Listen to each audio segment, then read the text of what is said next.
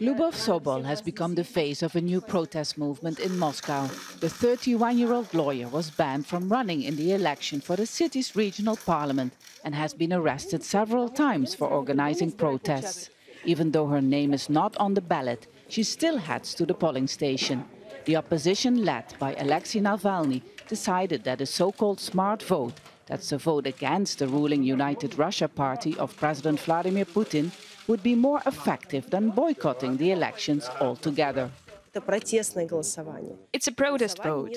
It's not a vote for your candidate. We go to the street with a protest, and now we vote in protest. It is a formal protest to show that we disagree with the politics of the current authorities. Sunday's election follows weeks of some of the largest protests seen in Russia for years. Tens of thousands of demonstrators urging the government to let her and other independent opposition candidates run. Riot police reacted by arresting hundreds.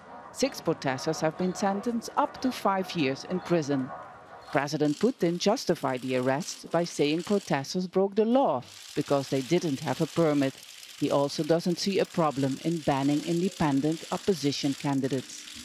In some countries there are 30, 50 or 100 candidates. The quality of their work does not change from this. It's not quantity but quality that is important. I think that we have decent candidates. But some Russians say that despite the decades-long rule of the United Russia Party, something could change because of the protests. I'm voting for the first time in my life. Why? I don't know. I think before I did not feel my importance. I did not think you can change anything. Now it appears that we can improve things. In most cases, a protest vote against United Russia will be a vote for the Communists, the second largest party in Russia.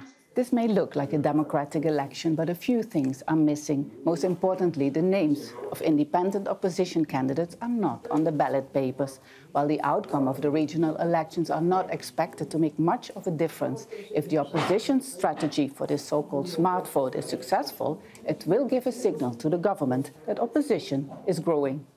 Just before the polls closed, the opposition's call to participate in the vote didn't seem to have been heeded. Similar to previous elections, turnout was only around 20%. Step Vaessen Al Jazeera, Moscow.